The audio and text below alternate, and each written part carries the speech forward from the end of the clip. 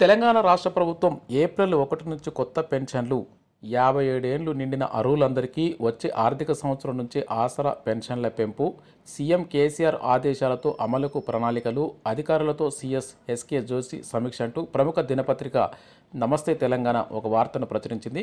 ఆసరా పింఛన్లకు సంబంధించి ఇచ్చిన హామీ మేరకు యాభై ఏడు ఏళ్ళు నిండిన అర్హులైన ప్రతి ఒక్కరికి వచ్చే ఆర్థిక సంవత్సరం ఏప్రిల్ ఒకటవ తేదీ నుంచి కొత్తగా పెన్షన్లు అందించనున్నట్లు ప్రభుత్వ ప్రధాన కార్యదర్శి ఎస్కే జోషి తెలిపారు. కొత్తగా అందించే పెన్షన్లకు అర్హులను గుర్తించడంతో పాటు తగిన కార్యాచరణ ప్రణాళిక రూపొందించి అమలుకు చర్యలు తీసుకోవాలని సీఎం కేసీఆర్ ఆదేశించినట్టు సీఎస్ పేర్కొన్నారు.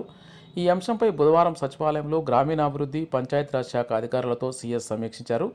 ఈ సందర్భంగా ఆయన మాట్లాడుతూ గురువారం కలెక్టర్లతో వీడియో కాన్ఫరెన్స్ నిర్వహించి అవసరమైన సూచనలు జారీ చేయనున్నట్టు చెప్పారు. యాభై ఏడేళ్ళకు పైబడిన వృద్ధులకు ఆసరా పెన్షన్ల మంజూరుకు సంబంధించి విధి విధానాలను ఇప్పటికే కలెక్టర్లకు పంపామన్నారు.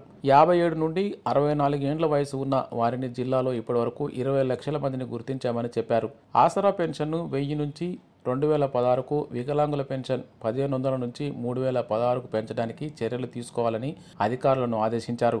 ఆసరా పెన్షన్లకు సంబంధించి పంచాయతీరాజ్ శాఖ ముఖ్య కార్యదర్శి వికాస్ రాజ్ కమిషనర్ నీతూ ప్రసాద్తో సమీక్షించామని జిల్లా కలెక్టర్లతో గత వారం వీడియో కాన్ఫరెన్స్ నిర్వహించామని చెప్పారు. కొత్తగా పెన్షన్లకు అర్హులను గుర్తించేందుకు పంతొమ్మిది పదకొండు రెండు వేల పద్దెనిమిదవ తేదీన ప్రకటించిన ఓటర్ జాబితాను వినియోగించుకోవాలని ఓటర్ జాబితాలో యాభై ఏడు నుండి అరవై నాలుగు ఏండ్ల వరకు ఉన్న వారి వివరాలు సేకరించి ఎస్కేఎఫ్ డాటాలో సరి చేసుకోవాలని సూచించారు.